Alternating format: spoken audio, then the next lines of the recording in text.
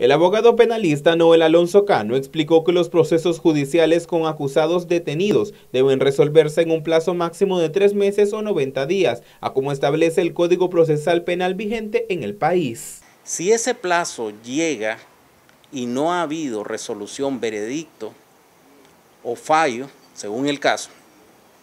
el juez lo que procede legalmente es poner en libertad a esta persona, continuar el proceso pero con la persona en libertad. No acatar esa disposición legal del 134 conlleva a que esta persona sometida a proceso está detenida ilegalmente y por consiguiente su derecho constitucional a ser juzgado sin dilaciones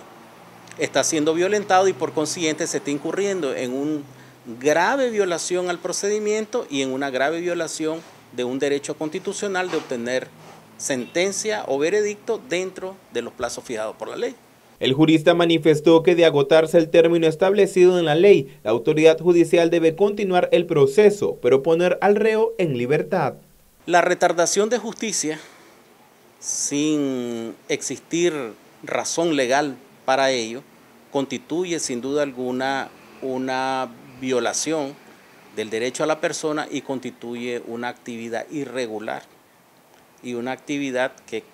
prácticamente es ilícita por parte del funcionario público que la practica o lo que la facilita en todo caso. Hay un remedio ah, para tratar de superar esa situación que el mismo sistema legal lo establece. Cuando una persona está detenida ilegalmente, se ha violentado su derecho a la libertad como garantía constitucional. El defensor o su representante del acusado debe de recurrir en todo caso de amparo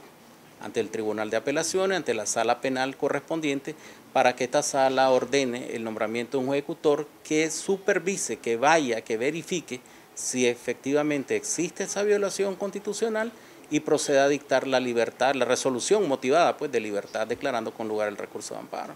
Para Noticias 12, Wilmer Benavides.